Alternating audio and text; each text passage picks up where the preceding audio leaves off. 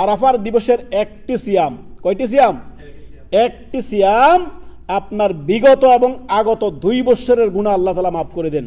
নবী সাল্লাহ আলাইসাল্লাম সেই মুসলিমের হাদিস এগারোশো তেষট্টি, নবী সাল্লাম বলেন, সিয়াম ইয়ৌমি আরাফা আহতাসিবু আল্লাহি আইয়ুকাফির সানাতুল্লাতি কাবলা ও সানাতুল্লাতি বাদা। দুই বৎসরের গুণা আল্লাহর পক্ষ থেকে মাপের ঘোষণা হচ্ছে এই, কোন ব্যক্তি যদি আরাফার দিনের একটি সিয়াম পালন করে আল্লাহ রব্বুল আলমিন তার বিগত এবং আগত দুই বছরের গুণা মোচন করে দিবেন সুহান আল্লাহ কাবিরা গুণা থেকে তবা ইস্তেকফার করে ফিরে আসতে হবে। তবা মানি তবা করছে, একটু পরে আবার গুণা করতেছে। তবা করে আবার একটু হারাম দেখতেছে। তবা করে একটু পরে আবার সুদ খাচ্ছে। তবা করে একটু পরে আবার গুনাই যে জড়িত হয়ে যাচ্ছে। না, এ তবা না।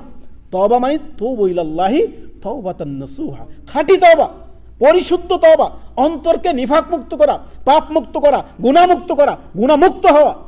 তবা মানে কি? ফাকুল তুস্তাগফিরু রাব্বাকুম ইন্নাহু কানা গফফারা। তবা করো, তোমার রবকে তুমি ক্ষমাশীল হিসেবে পাবে। তবা তবার মতো করতে হবে। শুধু মুখে বললে আস্তাগফিরুল্লাহ না, কাজে কর্মে দেখা যাচ্ছে, সমস্ত হারামের সাথে জড়িত। না, ওই ধরনের তবা না। তবা খাঁটি তবা করুন। আর এই দশটি দিন, বিশেষ করে আল্লাহ তালা দশটি দিনে শপথ করছেন, জিলহজ মাসের দশটি দিন অত্যন্ত আপনার উৎকৃষ্ট দিন, দিনের দিক থেকে শ্রেষ্ঠ, জিলহজের এই দশটি দিন, আর রাতের দিক থেকে শ্রেষ্ঠ, দশটি রাত হচ্ছে রমাদানের শেষ দশকের দশটি রাত। হ্যাঁ অতএব আমরা ইবাদত বন্দিগিতে নিজেও করব এবং নিজের আহাল পরিবারকেও আমরা জানিয়ে দিব। ওবারাকাল্লাফি